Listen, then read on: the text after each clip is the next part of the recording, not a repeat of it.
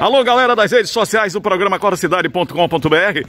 Falamos aqui da Rua Oriente, bairro Papagaio, localidade Adelba, e as ruas estão praticamente, praticamente não, estão ilhadas, estão intransitáveis. Aqui o povo se reuniu nesta manhã, olha para isso aqui, ó. O acesso complicado, carro fica atolado por aqui e o povo e o povo só, e o povo se reuniu para solicitar a reportagem do programa Acorda Cidade. Queremos solução! Queremos solução! Queremos solução! Queremos solução! Queremos solução! Queremos solução! Queremos solução! Queremos solução! Esta é a situação da Rua Oriente. Adelba, localidade Adelba, bairro Papagaio. São seis ruas aproximadamente que estão na condição aqui da Rua Oriente. Só falar aqui com dona Vânia. Vânia, cadê tu, Vânia? Ô, Vânia tá aqui, rapaz. Ô, Vânia. Fala, Vânia. Vânia que reuniu essa galera toda aqui, viu? Vânia é liderança aqui. Vânia, Vânia parece que realmente... É... Parece não, é liderança aqui mesmo. Vânia, quanto tempo a rua tá assim? Na verdade, estamos precisando de um líder, tá?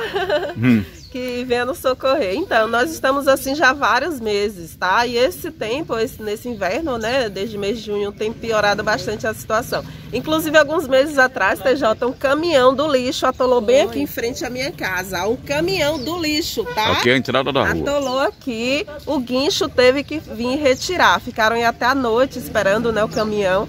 É, retirar ali, puxar o, o, caminhão do lixo que atolou aqui em frente. Agora anunciaram recentemente pavimentação de algumas ruas aqui na Adelba, aqui no Papagaio, nesse pacote de obras, o último que o prefeito Colbert Martins da Silva anunciou, inclusive era para a obra ser iniciada em janeiro, mas até agora nada, é? A senhora já sabe por quê? A obra não foi iniciada ainda? Não sei por quê, estamos esperando a resposta. Ficamos muito felizes quando vimos as obras iniciarem, né? Algumas ruas foram calçadas, mas as principais ali, Nense, a Oriente e a Avenida Universitária, que já era asfaltada só por conta do ônibus, né, que, que ia passar. Provavelmente fizeram acordo com a empresa, né, por conta okay. dos buracos, apenas asfaltaram a avenida e, e, deixaram que essas, essas outras duas ruas principais sem serviço, tá? E sem previsão para o início da obra? Não temos previsão, okay. só ouvimos falar que o pacote foi fechado para tudo, mas até hoje não tivemos aí o serviço concluído. Estamos aí ansiosos, né? Tá legal, um abraço aí para vocês, viu, gente? A gente que agradece a atenção, tá? Do valeu, valeu, valeu. Coutinho, um abraço para vocês. Muito obrigada aí pelo apoio. Esperamos Valeu. Se precisar, chama de novo. Muito obrigada. Um abraço, galera. Obrigada. Valeu.